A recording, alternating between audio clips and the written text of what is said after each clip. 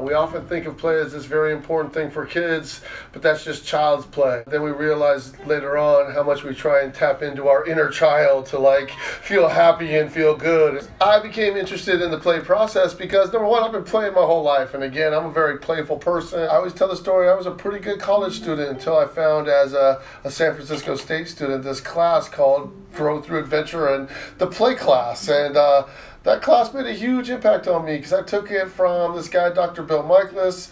He was sort of an outgoing, crazy teacher who sort of engaged you in play and less talk, more play.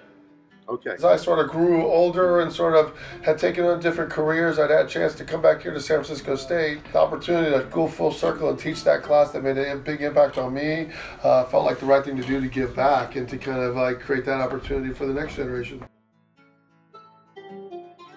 People need play to be happy and healthy. Play is a very natural thing, and I think that most people think of it as like frivolous and not worth their time as adults but yet maybe aren't in jobs they're happy with or health is sort of suffering and don't realize that they have access to this sort of like force that is all through the universe called play. And uh, it's spontaneous and it's a little bit short-lived super engaging. And if you can tap into it it's funny how it can kind of change the quality of your life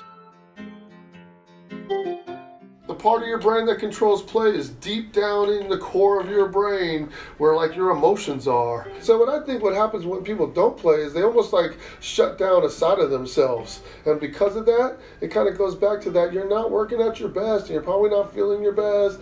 And I almost feel like there's a like there's like a karmic inertia, right? When you're not feeling good, you kind of want to bring everybody else down with you. But a lot of research shows that when you are feeling good and you do become more successful, you start to act more unselfishly.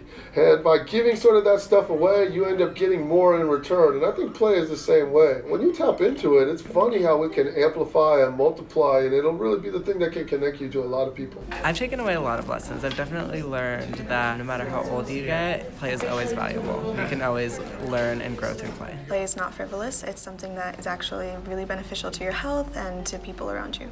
World peace is possible through play. Play levels the playing field, is what overrides any kind of difference, whether it's status, class, or color, sexuality, or age. So play transcends all of that and binds everybody together.